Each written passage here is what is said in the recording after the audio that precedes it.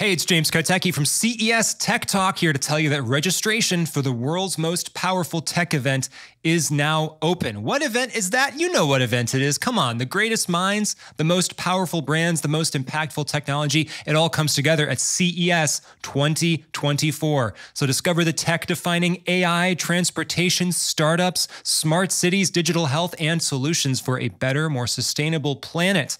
Register now at ces.tech. All together, all in, all on.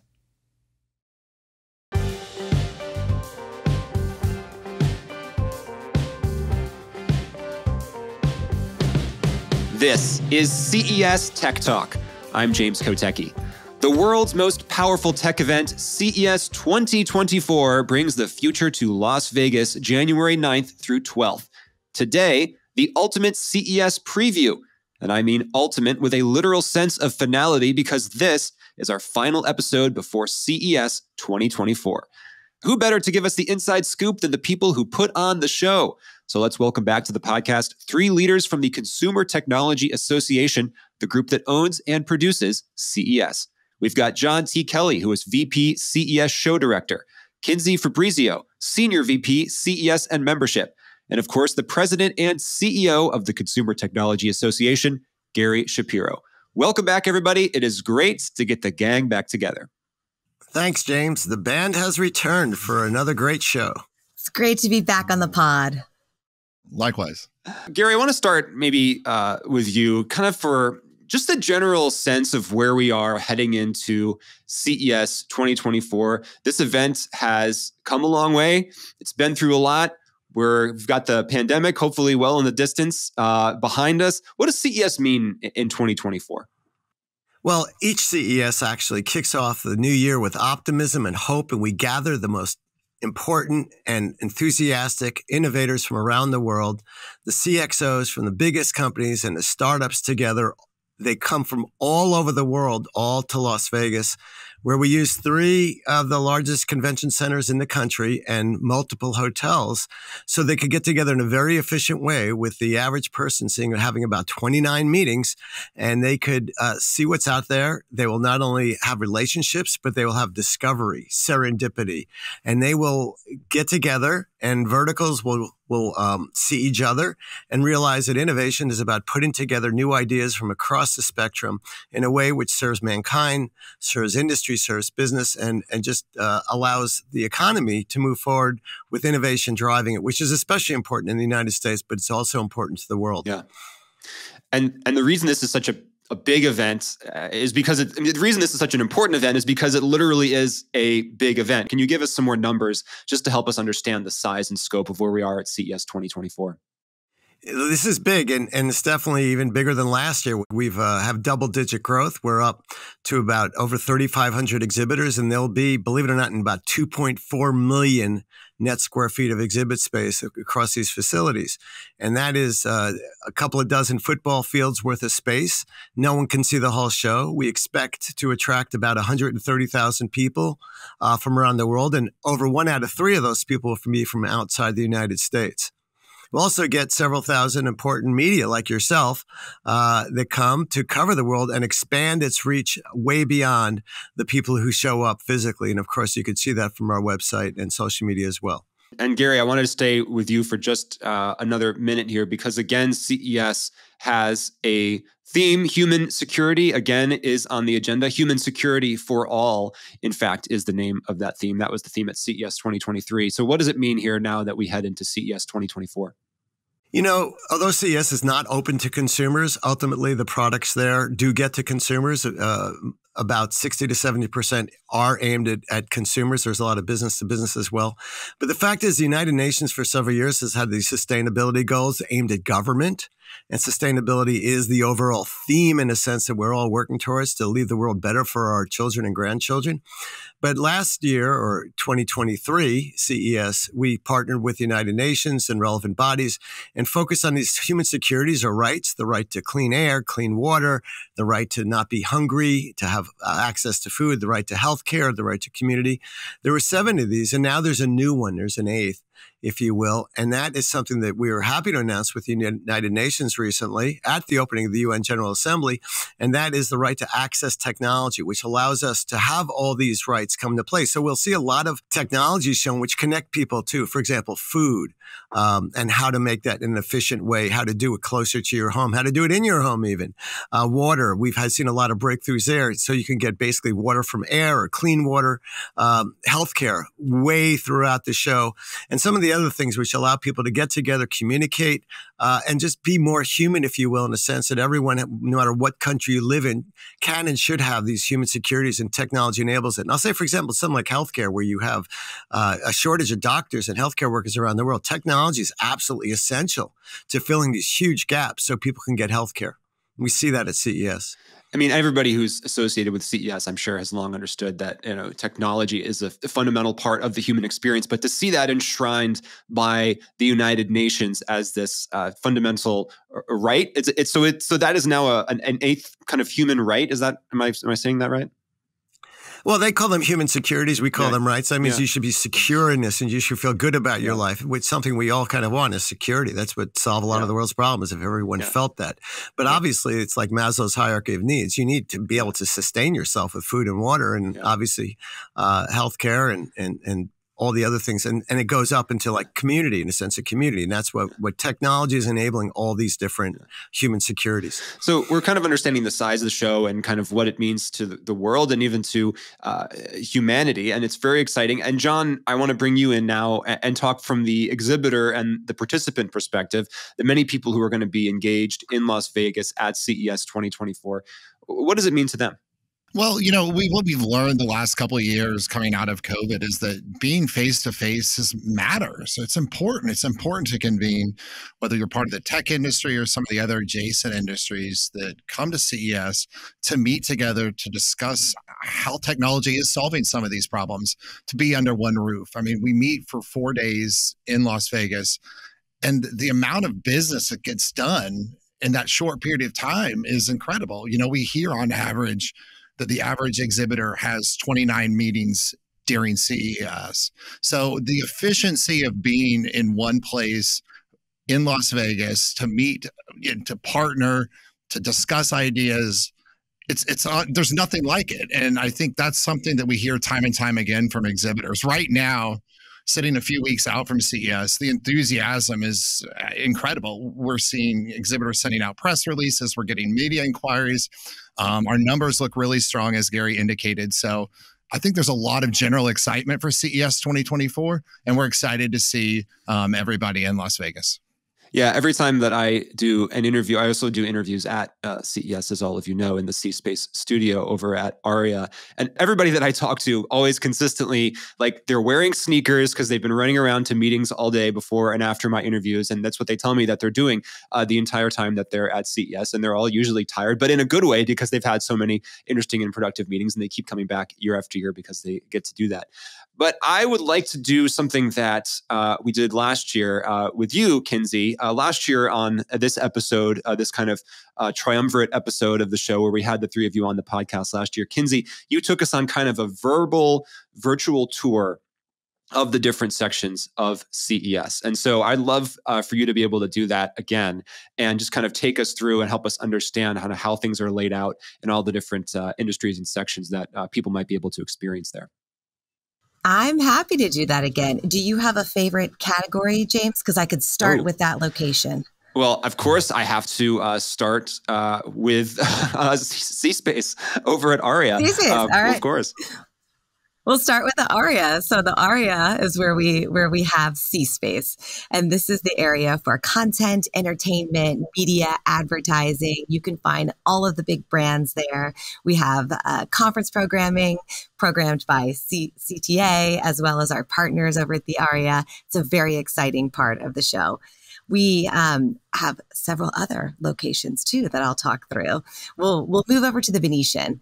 This is a very important part of CES and a very important venue because our keynotes happen at the Venetian, and we'll talk about those in a little bit. But we also have Eureka Park in the Venetian. They are on the lower level. This is our area for startups. There'll be over a thousand startups in Eureka Park. It's one of the most exhilarating and exciting parts of the show. You truly see the global startup community come together there. If you go to the level up in the Venetian, you'll find food tech, smart home, accessories will be there. And then also our global pavilions will be there. We have beauty tech and sports tech over in the Venetian. So very exciting and fun categories. If we move over to the Las Vegas Convention Center, there are um, three key halls there where we have exhibits. So the West Hall is where we have all of our automotive and mobility tech and um, new venue alert outside of the West Hall in the West Plaza. We'll have some outdoor exhibits that will be new this year. Supernal will be out there and they'll be showcasing their eVTOL technology and Mercedes Benz will also be out there. And that's in addition to the self driving demo tracks that we always have outside of West Hall. So, West Hall is all about mobility. You'll see auto tech, marine tech, ag and construction tech. It's very exciting.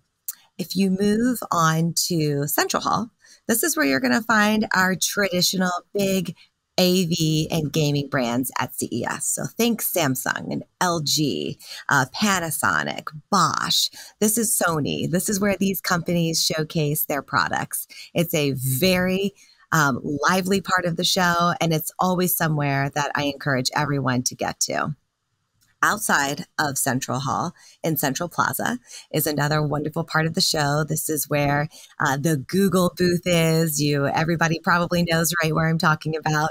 There are some newcomers to to that part of the show as well. Walmart will be out there and some other exciting new exhibitors. So definitely check out that part as well. And then if you move to North Hall, one of my favorite categories of tech is in North Hall, digital health. I truly love this category of technology. It's amazing to see how tech is transforming the healthcare industry. You'll find exhibitors like Abbott and Why Things, Essilor Luxottica, first time CES exhibitor will be there, um, ResMed, Moderna. It's really going to be a unique and informative and educational part of the show. Um, additionally, in North Hall, we smart cities, we have AI, robotics, and there'll be um, some overflow from West Hall of automotive and mobility tech as well. And sustainability. We have uh, we showcase sustainability solutions in North Hall as well. And look, I mean, I assume that people who listen to CES Tech Talk, by and large, are people who are probably familiar with CES. But if there's going to be one episode of this podcast that people should send to their friends to help them understand CES, people who might not know CES yet, it probably should be this episode, right? And so for those people who are listening to this episode and have never been to CES before, I just want to re emphasize here this is huge. The way I describe CES to people, my friends, is like picture the biggest convention hall you've ever been to, and there's like five of them. And so Gary said earlier, right? You can't see all of the show, two point something million square feet or something incredible like that. And it's growing, right? So, Kinsey, what are the sectors that are actually expanding this year at CES 24, 2024? Because it just keeps getting yeah. bigger. It does. Well, the first one we mentioned, C Space, we've actually expanded into the Cosmo Hotel this year, which is new. And, um, it, you know, we've heard from exhibitors for a while that they wanted us to expand into that area. We were able to do it. And we're accommodating some new exhibit, accommodating some new exhibitors over there. Uh, Disney will be over there, Reddit will be over there, and many popular brands in the entertainment space. Um, I mentioned West Plaza outside of West Hall. That is a new venue for us. Um, we'll be having outdoor exhibits there. Make sure to check those out. And then you will be able to find our design and source technology in the Westgate at CES 2024. Wow.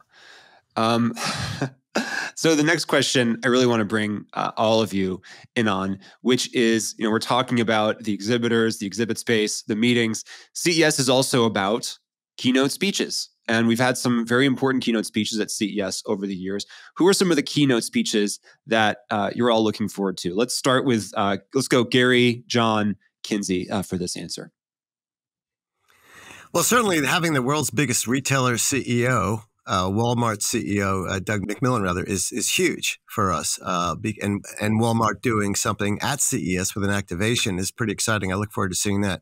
Also, the the number one consumer electronics retailer that's dedicated to consumer technology in the country, Best Buy's uh, Corie Barry will be speaking at a uh, our leaders in technology dinner with a lot of policymakers and other people there from around the world, and that that'll be interesting. It's more that's more of an interview format uh, with the the head of Fortune uh, Alan Murray, but it will be. It's he's a great interviewer, and she's done some pretty amazing things in the last few years. And that her perspective on what's hot in the future and her passions will be really great to hear. Well, for me, eh, you know, the pre-show keynote we actually starts on January eighth, where Siemens CEO Roland Busch will discuss how leading brands are, how they work with leading brands to improve how we live, work, and move.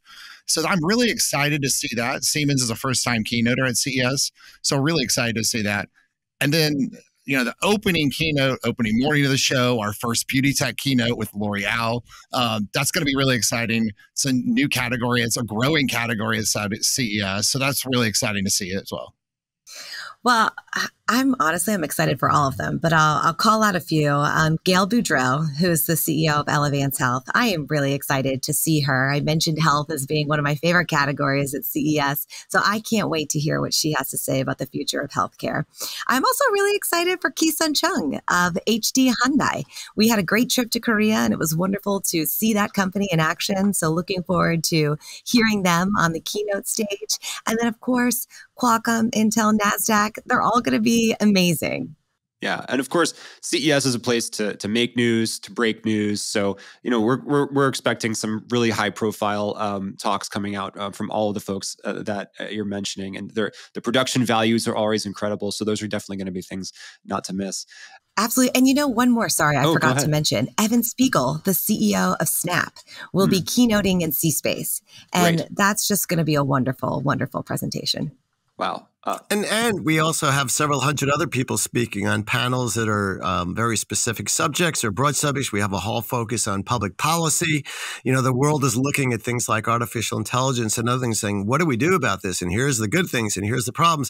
So we actually have policymakers that are making the decisions come speak, and they're speaking with real people in business, which actually makes a difference. And, and as a matter of our own policy, we present different views there, even if they disagree with our own, because we are a platform and we feel a certain editorial responsibility to make sure sure that everyone is heard in a sense of different views. I was going to say that is a good point, Gary. You know, at CES, in addition to the keynotes, the show also features more than 250 conference sessions. Some of the topics Gary just mentioned, um, and over 800 speakers. So, you know, there's a lot of discussions taking place, a lot of thought leadership at yeah. CES as well. Yeah, and of course that policy aspect is key. I think people who maybe you know wander by a, a, CES marquee in Las Vegas might not understand the connection between CES and the Consumer Technology Association, which is of course the organization uh, that owns and produces it, which is of course a, a, a policy associate a policy group out of uh, out of DC, um, which is uh, setting the pace for consumer technology policy. So it's obviously all Thanks for raising that. There. Yeah. James, that's an important point because actually, you know, the CES is one of the most important global events. It's one of the few that's based in the United States, uh, but we are a U.S. and Canada-based trade association, and those are that's our membership. So we're fighting in U.S. and Canada for good policies which favor innovation, and we try to balance between you know where China is like they don't focus on the individual at all. There's no privacy. They have great data sets, which is important for AI, and then you have uh, Europe, which is very focused on privacy, less so on innovation. And so we try to be right in the middle, like Goldilocks and the Three Bears, and that's what we're advocating for in Congress. Is that we have a very pro innovation policy government regulation should set the guardrails. Business should know what's legal. We shouldn't have lawyers taking over the country with a litigation tax. And those are the things we're advocating for. But we talk about them, but we do present the all sides. So, um, an international viewpoint uh, from a, a, U.S. perspective, I suppose certainly uh, Las Vegas provides a U.S. Uh, location for all of this to take place, but it is an international show. CES 2024 is going to see a lot of international um, visitors. Uh, I believe Gary alluded to the, the percentage of international visitors earlier, but John, can you give us some some more numbers there to help understand the scope of the, uh, the international aspects to CES 2024? Yeah, that's a great that's a great point. And one of the you know values of CES is it truly is a meeting point for the global industry. As, as Gary indicated, about a third of our attendees come from outside the United States. So last year that number exceeded forty thousand. Um, and nowhere is this more pronounced than in Eureka Park, as Kinsey indicated. So in Eureka Park, you see many of the country pavilions like Italy, the Netherlands, France, Israel, um, Ukraine. Romania. There'll be a Romanian pavilion there, a Polish pavilion there as well. You know, anecdotally, I review many of the contracts that come through for exhibitors. And last night, as I was looking at the contracts, I saw two come through from countries that don't necessarily have a large presence at CES. But these companies are coming because they see value in CES and see value in meeting with the global tech ecosystem. And those two countries, one was from Sri Lanka and one was from Uruguay. And so, again, these companies are making a choice to come to Las Vegas because they understand the entire global tech ecosystem will be there. And so I think that just speaks to the global nature of the show and why CES is so important. Yeah, absolutely. Um, this is just such a massive thing, as we keep saying, as I keep saying. Nobody could possibly see all the things that we're mentioning. Gary said you can't see the whole show. We're talking about so many exhibitors, keynotes, conference sessions, international opportunities, and of course, all the individual meetings that one could have. So let's go, uh, Kinsey, let's go to you first. How do you recommend that people even start to approach uh, the possibilities of CES, given that this is really only taking place, the actual physical part of CES only takes place over a few days in Las Vegas, and they can't do it all? Yeah. Well, look, there's a couple things that people can do if you if you physically can't walk through the entire show. Though you could probably try. Um, I I would definitely tune into the podcast and the interviews that you do, James, well, and you. hear from some of the great voices at CES. But also, we have an anchor desk that we will live stream content, interviews with exhibitors, product announcements over three days during CES, and you can tune into that on our website. That's a great way to hear and understand what's happening at the show if you're in meetings and you don't get to see everything and be everywhere. And um, you can also follow us on our social channels. We, you know, pump out a lot of information during those four days of CES. And so if you follow us there, you'll be able to, to really stay in the know while you're there having all your meetings and doing your important business. Well, I have to. I'd like to add to that because uh, one of the great ways to see the coolest things at the show is the innovations area. This is a, a judged area. Uh, we had a record number of submissions, uh, several thousand, up over forty percent over last year, and it's in the Venetian. And what it does is we have different categories of products, and the ju- we show the ones that the judges have said these are the best products at the show, and that way you could go into one place and see what some judges have said are the really cool products. Of course, every exhibitor thinks their products are the coolest and the best. But the reality is there are some that are really unique and it's just a great overview. It's a, it's an area you can go get more information about the products and see who makes them.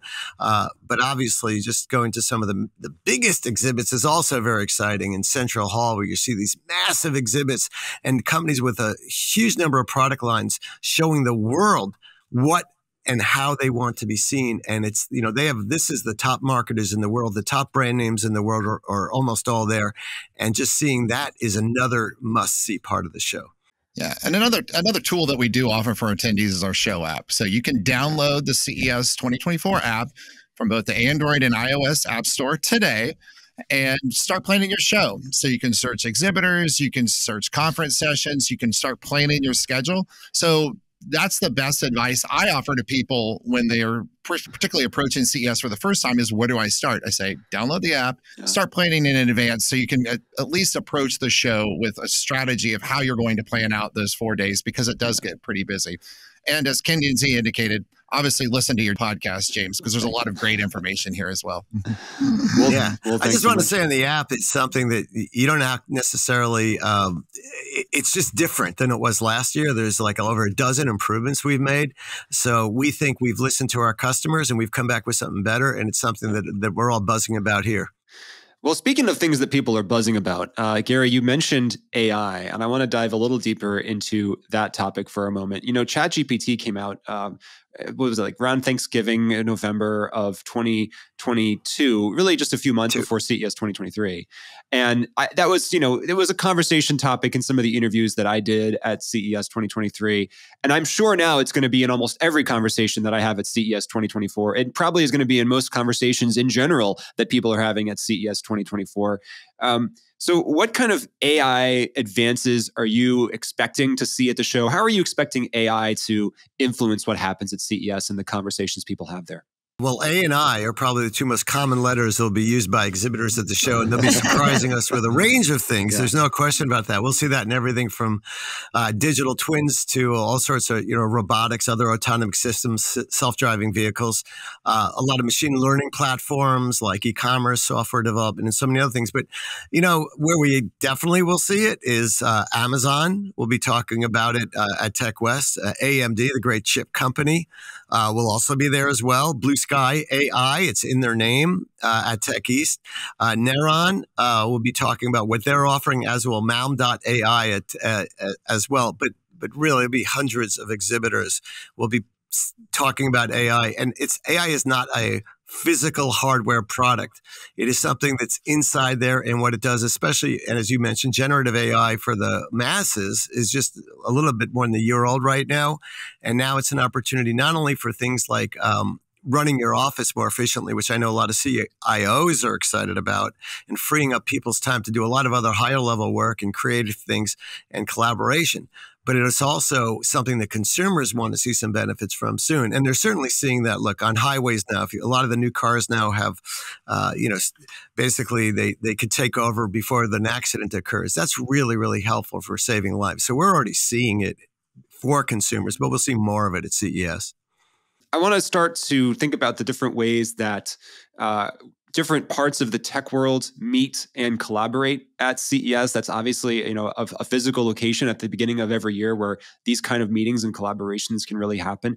Um, I want to ask all of you, starting with you, John. Um, what are two different industries or technologies that you hope might actually you know come together at, at CES or, or have an initial conversation that sparks something innovative down the road? Well, I consider myself somewhat of a fashion forward individual, if you no will. Doubt, so, no doubt.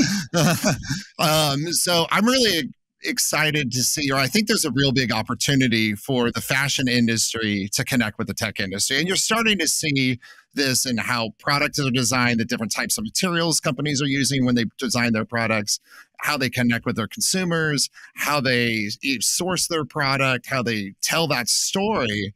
I just feel like there's a real big opportunity there to tell that story at CES. So I'm excited to see that grow in the future. Yeah. Yeah. John's been pushing for a separate exhibit area for his shoe collection, but we, we, don't have the space. That's right. You need a few more million square feet.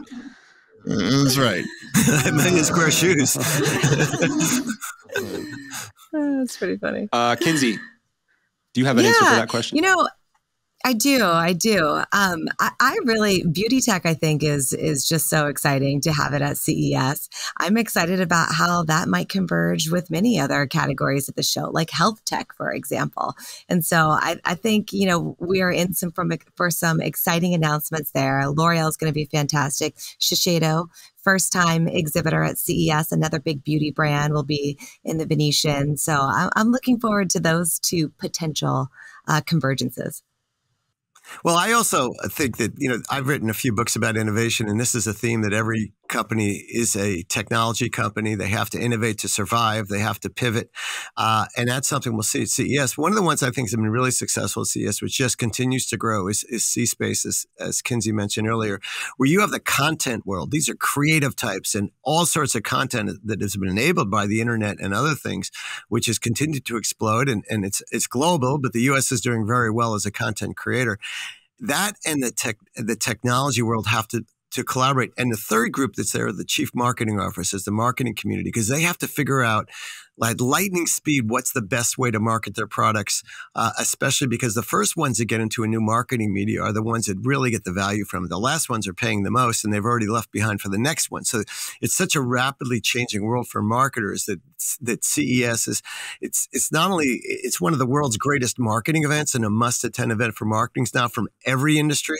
Uh, it's in a sense like when they talk about CES now I keep hearing it from other journalists that this is the largest auto show in the world but it's certainly for the US it's the largest uh, gathering of people from outside the United States for any reason inside the, the to come to the United States. But th- there's a magic that occurs there. And you were talking earlier about you know how you could describe CES.